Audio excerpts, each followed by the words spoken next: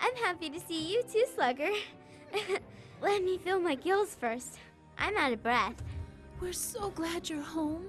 We've heard such terrible news. Kraken's been snatching fish in our part of the ocean again. Just this morning, a, a mackerel and, and two flounders were nabbed, and a seahorse was rustled from the sea coral corral. Oh, oh no! Coral